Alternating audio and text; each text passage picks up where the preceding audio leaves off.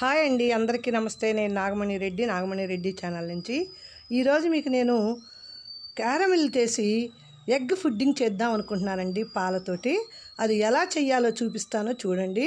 దీనికోసం మీరు తప్పనిసరిగా నా ఛానల్ కొత్తగా చూస్తుంటే సబ్స్క్రైబ్ చేసుకోండి.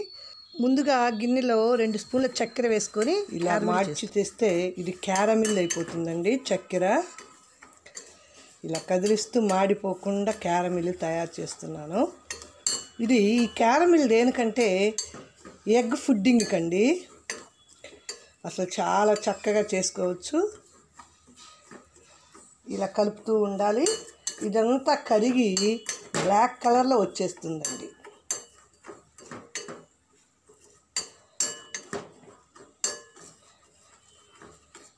చూసారా అదండి చూడండి.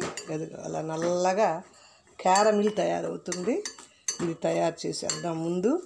ఇది చేసేసిన తర్వాత మనం ఎగ్ ఫుడ్డింగ్ ఎలాగ చేయాలో చూపిస్తాను.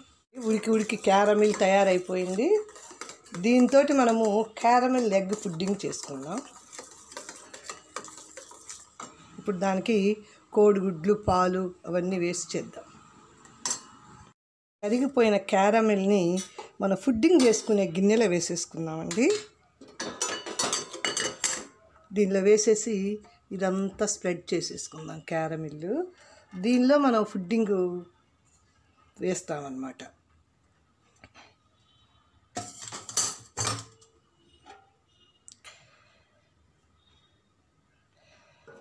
ఇది అడుగునంతా వచ్చేటట్టు మనం దీన్ని స్ప్రెడ్ చేసుకోవాలి.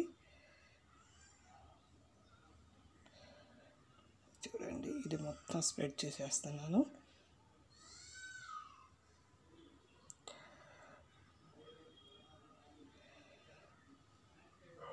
ఇప్పుడు స్ప్రెడ్ చేసి పక్కన పెట్టేసుకుందాం. ఇప్పుడు మనము కోడిగుడ్లు పాలు ఇవన్నీ కూడా దీనిలో వేసేసుకొని ఒక హాఫ్ లీటర్ పాలు వేస్తున్నానండి. దీనిలో మీగడతో సహా వేసేసుకోవచ్చు. మనకు మిగిలిన మీగడు ఉన్నా వేసేసుకోవచ్చు. దీనిలో అలాగే ఎగ్ దీన్ని బాగా బీట్ చేస్తున్నాను. బీటర్ తోటి ఎలక్ట్రిక్ బీటర్ ఉంటే బీటర్తో చేయొచ్చు లేకుంటే ఇలా బీటర్తో చేయొచ్చు. లేదనుకోండి ఈ బీటర్ కూడా లేకపోతే మనం మిక్సీలో వేసేసుకోవచ్చు అండి ఇదంతా కూడాను. ఇప్పుడు దీనిలో ఒక పావు కప్పు చక్కెర కూడా వేసేసి బీట్ చేస్తాను. ఇదండి నాలుగు గుడ్లు ఒక అర లీటర్ పాలు వేసేసాను. చక్కెరే కాకుండా కొంచెం బెల్లం కూడా వేసాను ఫ్రెండ్స్. మీకు కూడా నచ్చితే వేసేసుకోండి. లేకపోతే మొత్తం చక్కెర వేసేసుకోండి. ఇదంతా ఇలా బాగా బీట్ చేసేస్తామండి. బాగా నిలుగు వచ్చేసేయాలి చక్కెర గుడ్లు పాలు మొత్తం కలిసిపోయి ఇలా పఫ్ ఫ్లఫీగా రావాలి అంటే ఇలా పొంగు రావాలండి బాగా. ఇలా వచ్చేస్తూ ఉందనుకోండి ఇది ఒకవేళ మీరు ఇలా చేయలేకపోతే కనుక చక్కగా మిక్సీలోనైనా వేసేసుకోవచ్చు ఫ్రెండ్స్. లేదు మంచి ఎలక్ట్రిక్ బీటర్ ఉన్నా చేసుకోవచ్చు. ఇది హ్యాండ్ బీటర్ అండి నాకున్నది. దీంతో తిప్పుతూ ఉన్నాను. చూస్తున్నారు కదా? ఇదిగోండి. ఇలా చక్కగా ఫ్లఫీగా రావాలి అంటే బాగా బీట్ చేయాలి. ఇప్పుడు ఇదంతా బీట్ చేశారు కదా ఫ్రెండ్స్? ఇదంతా ఏం చేస్తానంటే ఆల్రెడీ మనం క్యారమిల్ వేసిన గిన్నెలో పోసేస్తున్నాను.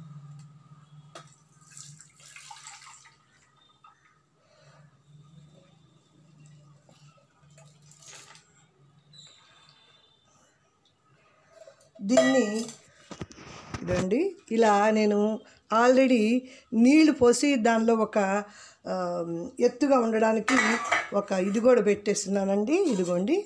ఇలా కొంచెం మనకు నీళ్ళు మళ్ళీ దీనిలో పడకుండా ఉండడం కోసం ఒక గ్లాస్ వాటర్ పోసి ఇలా పెట్టున్నాను అనమాట ఇప్పుడు దీన్ని దీనిపైన మనం ఈ ఇది పెట్టేసేసుకుందాం. ఒక సిమ్లో ఒక ఒక పది నిమిషాలేమో హైలో పెట్టుకోవచ్చు. తర్వాత ఒక ఐదు నిమిషాలు సిమ్లో పెట్టుకోవచ్చు. అది నేను దీనిలో పెట్టేస్తున్నాను చూడండి.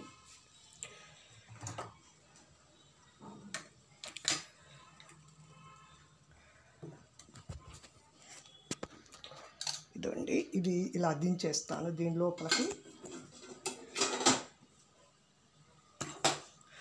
ఇలా పెట్టేసేసాను దీని లోపల. ఇప్పుడు మనం కొంచెం హైలోనే పెట్టుకుందామంట దీన్ని మనం డబల్ బాయిలింగ్ లాగా అనమాట అంటే ఇడ్లీ ఎలా ఉడికించుకుంటామో అలా ఉడికించేస్తే కనుక ఉడికిద్ది. ఒక పది నిమిషాలు హైలో ఉంచేసి తర్వాత కొంచెం సిమ్లో పెడతానంటే ఒక పది నిమిషాల తర్వాత ఎంత మాత్రం ఉడికిందో చూద్దాం. తర్వాత దాన్ని ఎలా మనం డీమోల్డ్ చేసుకొని టేస్ట్ చేయాలో చూపిస్తానండి. కొత్తగా చూస్తూ ఉంటే లైక్ చేయటం మర్చిపోవద్దండి. మీ ఫ్రెండ్స్కి షేర్ చేయండి. సబ్స్క్రైబ్ చేసిన తర్వాత బెల్ దగ్గర కనుక ఆల్ టచ్ చేశారు అంటే అవి వచ్చాక ఆల్ నోటిఫికేషన్స్ వస్తాయంటే ఇలాంటి మంచి మంచి వీడియోలు చూసి ఎలా ఉన్నాయి కామెంట్ మొత్తం చేయండి ఫ్రెండ్స్.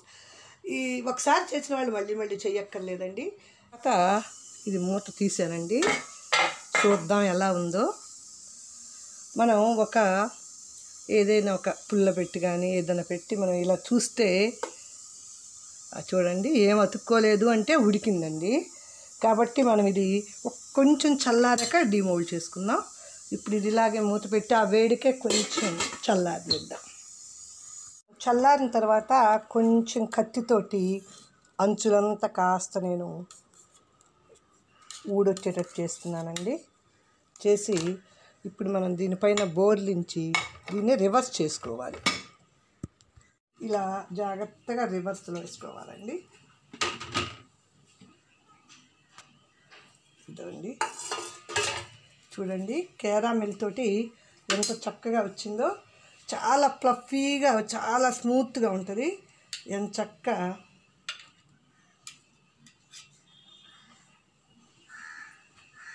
ఇదే ఫ్రెండ్స్ చూసారు కదా? ఎంత మెత్తగా వచ్చిందో? ఈ కేక్ని ఎంత చక్క మనం ముక్కలు ముక్కలుగా కట్ చేసుకొని వాడుకోవచ్చు. చూడండి ఇది కొంచెం కూల్ అయితే చక్కగా వచ్చేస్తుంది.